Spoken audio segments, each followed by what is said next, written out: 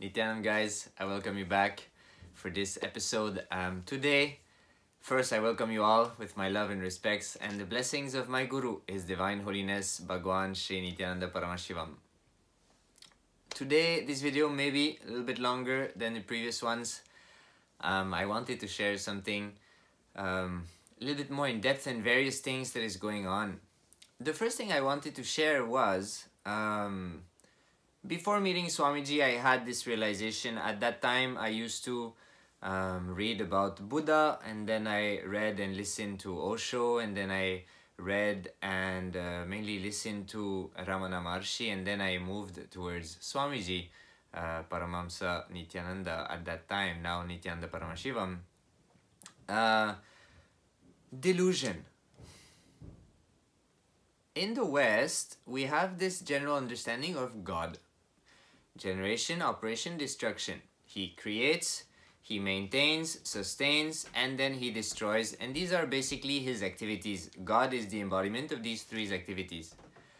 One major component which we are not uh, taught about or aware of or even cognize as Westerners is this the principle of, or I don't know if we can call it a principle, but this concept is seems a little bit too philosophical and too unreal.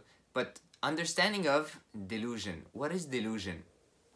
Paramashiva, in Hinduism, Paramashiva, he has five actions, not three. He does generate, he does sustain, he does destroy, or rejuvenate would actually be the best word. It is not a destruction for the sake of destruction. It's a destruction for uh, creation of the new, allowing rejuvenation to happen. When something is stuck in a pattern and is no longer radiating life, that gets dissolved and, and something new comes back to life um, that will be radiating more and more of that life energy. So that is the rejuvenation dimension. After that, there is delusion and liberation. So delusion is in Sanatana Hindu Dharma, what we seek is liberation. It is moksha.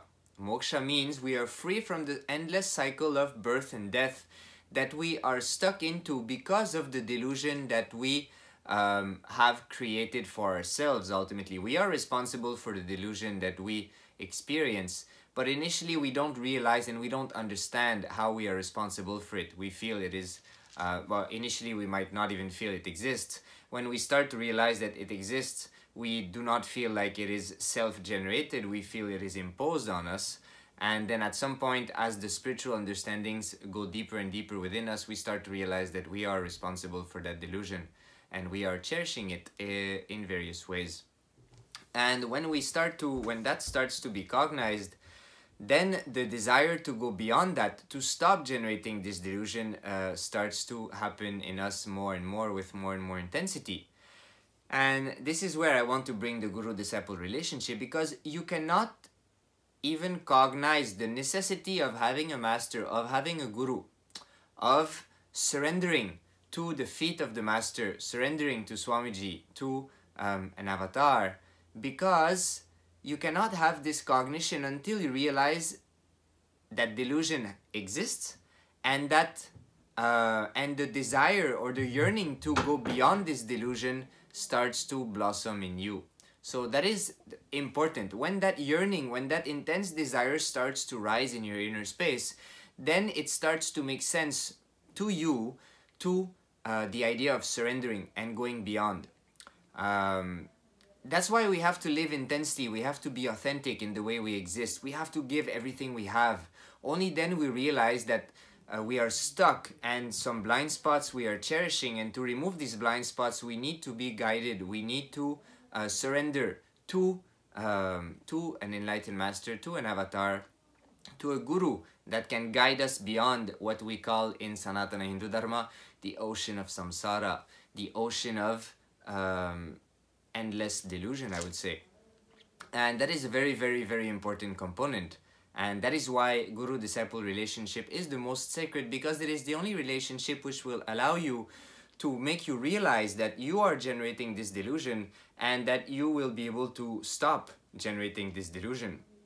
So that is a very important component that should not be missed and uh, forgotten at any way in any way. Um, another thing that I wanted to tag along with this uh, understanding of delusion is Sanatana Hindu Dharma is there. It is the only lifestyle which allows you to uh, take full ownership of your life, of your existence. It is the only lifestyle which makes you experience the experience of Paramashivoham. You are the ultimate Paramashiva.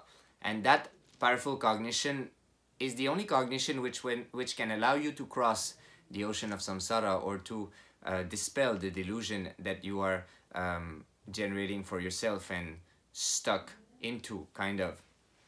And um, one thing that Swamiji just made available recently is the path of Apat Sannyas. So the Hinduism, Sanatana Hindu Dharma that we know today exists because of one of great incarnation, Adi Shankara, Adi Guru, Adi Shankaracharya.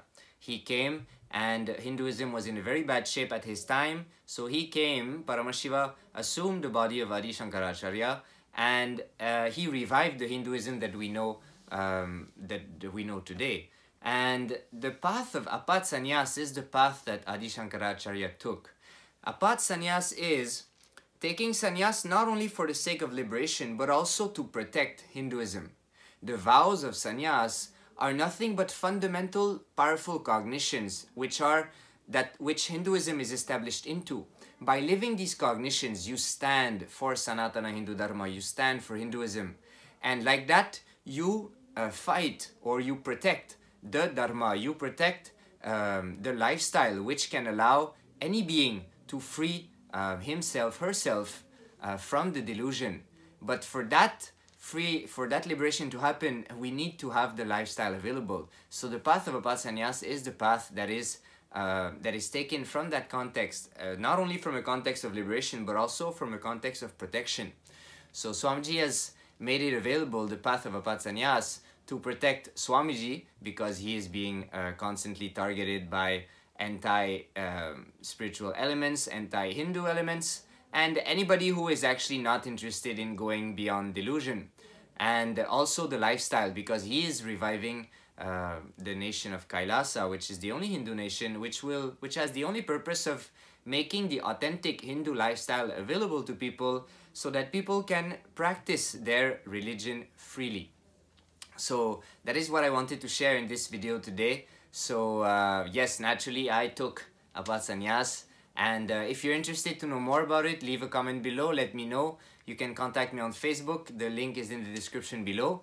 Uh, don't forget to like and subscribe to the channel for more videos. Oh yeah guys, I'm finishing the, I would say, I don't know, a general training of learning how to produce music. So I'm about to release few remixes, Kailasa remixes about songs, um, about the nation of Kailash and about uh, the greatness of Paramashiva and Guru. So keep posted. Uh, one of them I exported today, so I think within few days it'll be released. So uh, be be be on the awareness side and catch it once it comes out. I think it's pretty nice. So with this, I'll see you guys in the next video. Nithyanandam.